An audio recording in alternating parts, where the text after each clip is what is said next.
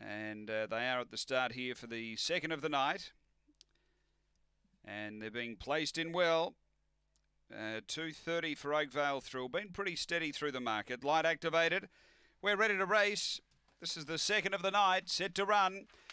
On their way, pace in the middle, Invictus Nina came out humming. Crosses over to lead by two early on Oakvale Thrill, getting to second, and they're about three in front early over Sky Dasher as they go to the back from Oakvale Astro. Then came Mr. Kingswood, and back at the tail end is What a Wish, but down the back it's Invictus Nina. Out by three here, stretching Oakvale Thrill. Uh, five or six away, Oakvale Astro, and then came Sky Dasher on the turn. Invictus Nina had a good lead, clear of Oakvale Thrill, and Invictus Nina too speedy. Invictus Nina beats Oakvale Thrill. Uh, third home is Oakvale Astro. Then came Sky Dasher. Next, What a Wish and Mr. Kingswood. The run here is very good.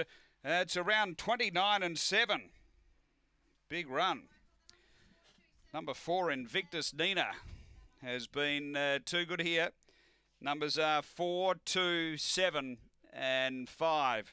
Invictus Nina for Ben Rawlings. Big, big win. Um, huge PB and uh, that's actually her first win here.